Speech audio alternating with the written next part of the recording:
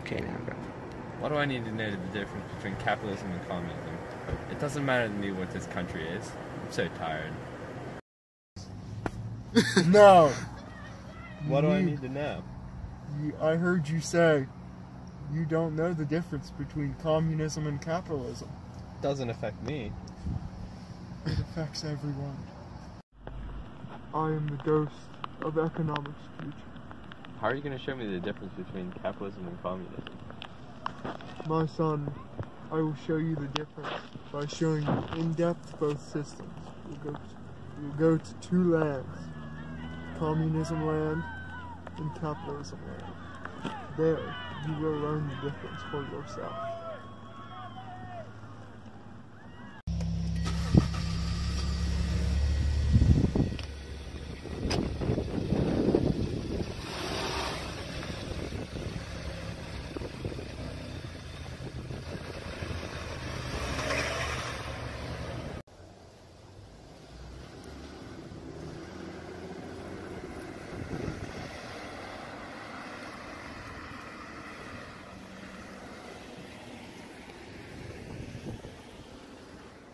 Where are we at?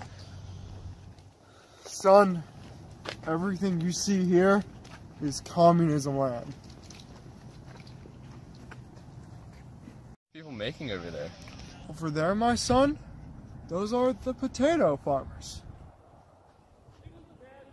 Do they have any other choices though, or is that their is that all they can do? You see, in communist land, my child, there is no choice. The state tells them what jobs they do. Some people are doctors, some are walkers, some play lacrosse for the state, others apparently worship the potato god. So what you're telling me is that if somebody wants to be a doctor and the state doesn't let them, then they can't do that. Yes, my child, because everything is for the betterment of the state and the people. Wow, that's totally different from America. Yes, it is. That's why, my son, you need to know these things. This is starting to make sense now. Yes, it is. That's good. Now, And can't they see us this up close? no, my son. I'm using my magic. We can get as close as we want to observe this economic system, and they will be none the wiser. Hey man, I, I stole this potato from the potato uh, silo. It's our it's our private property. We've earned it, so we don't have to share it with everyone else. Did someone say? Oh, Stealing from the common good, I see. but sir, we don't even like potatoes. We have had this planned out for five years. Without you, we can't run the country.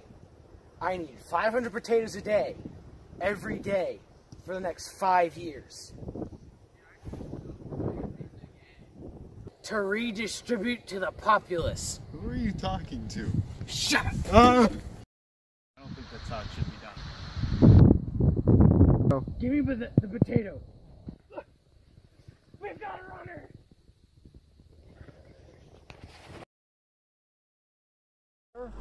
you saw a potato farm in communist land in action. You got to see all that. You got to see the demand economy. How the potato farmers had no choice in what they did. How all those prices did not fluctuate at all. Yeah, they had to sell those potatoes at the same price for five years, and they had to make the same amount too. Yeah, they did. Now, one thing in the future that that will cause, they may run into a shortage of potatoes at one point. Right. Or, what I personally feel, they'll have a very big surplus. They won't be able to get rid of it because they can't adjust their prices. Yeah, and maybe some people demand. can't afford it too. True. True. See, my son, you're learning. I'm so proud.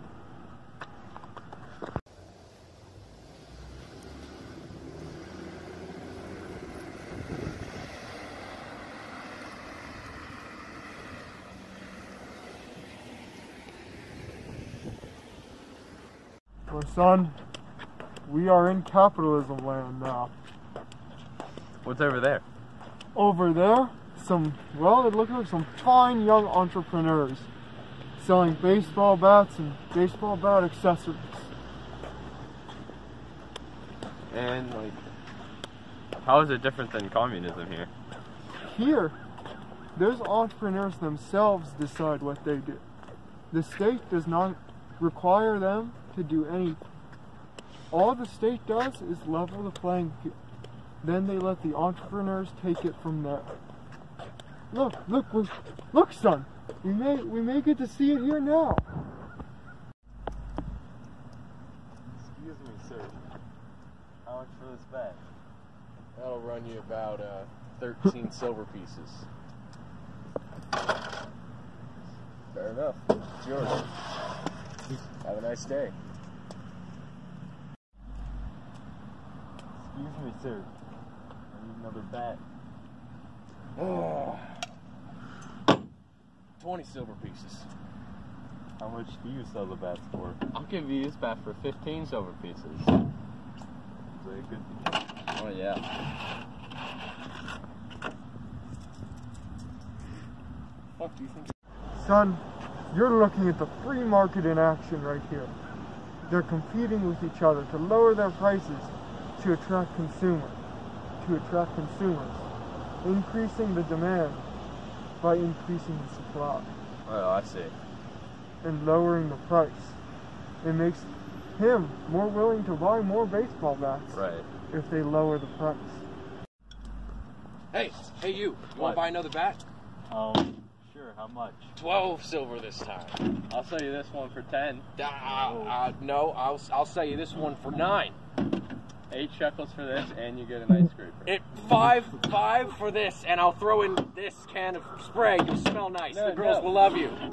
Three shekels with the ice scraper as well. If you want the bat, you can get it for another shekel. So a total four for all of this. Too good of an offer to refuse.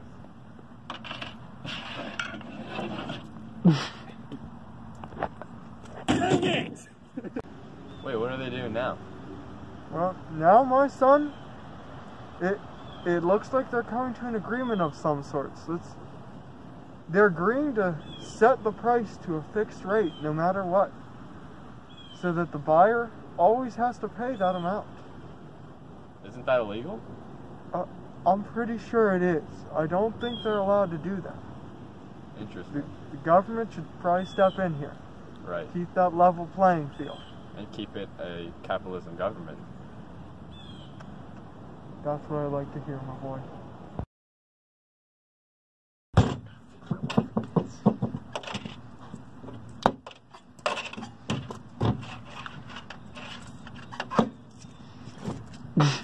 Hey, wait. We need to stop this. Why? I got the sale. Yeah, but I know you didn't make any money on that. I mean, you're kind of right about that. Look, how about we just sell it for 10? You know what? Deal. Let's do that.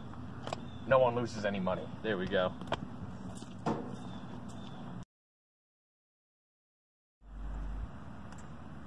Well, boys, I'm looking for a new baseball bat. How much? 10. And you? Same here. Uh, but I don't have ten. Sorry, you can't go anywhere else if you want to bet. We're all there is. Yeah, where else are you gonna go? Fine.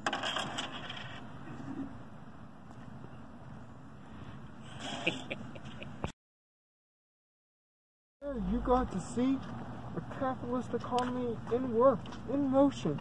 You got to see the fluctuating prices, the market economy, how the buyer chooses, supply and demand. You got to see all of that.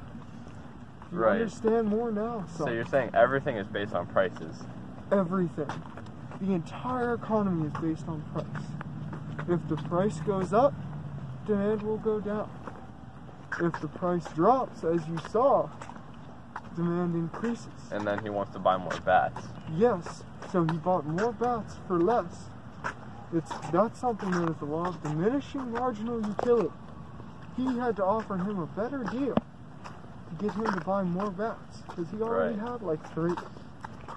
Until they made that illegal deal, but Yes, that that was absolutely illegal. right.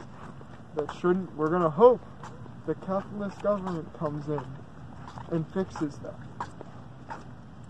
But time will tell, my son. Time will tell. Today. That's what I like to hear, my son. You now know all you need to know about capitalism and communism, so you yourself can make informed decisions. Wow, I thank you. No problem. Now, it is time for me to return home. We'll bring it in. Woohoo! Uh, I'm home! Ghost. No, I'm just homeless. Well, regardless of who he was, I learned a lot about economics. I've learned to care about capitalism and communism now. Thank you.